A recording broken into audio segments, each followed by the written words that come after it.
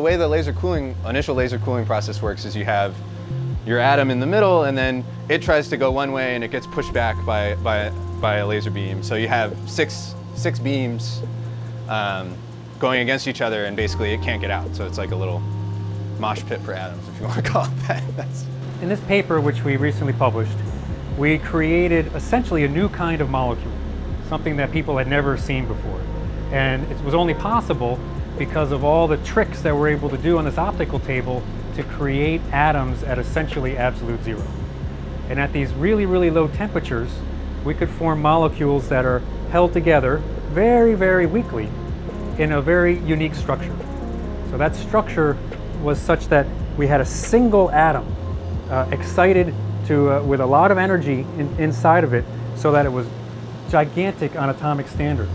And the electron in that atom would run around all the other atoms in its background and essentially herd them in and build a coat around itself that it would then carry around. It's a very strange structure and it's something called a polaron. And polarons are actually really important in other settings, such as in metals or in superconductors. But normally, in that setting, people are using that concept to describe how electrons move. So it's very unusual to have it appear in atoms, like we're studying it now. So what we're looking at here is, is basically all the infrastructure that's required to laser cool and trap atoms. So like I said, down there is the source, and these atoms come through this tube, and then they occupy a very small volume in this central chamber. And all the action happens in this very, very small volume.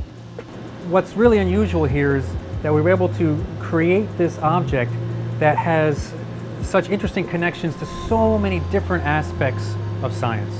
So we're atomic physicists, we play with lasers, and we play with atoms, but making a new molecule puts it in the realm of chemistry.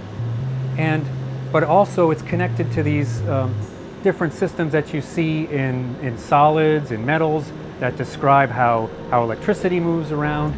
So it has these connections to all these different phenomena. So it's very interdisciplinary, and that makes it very interesting.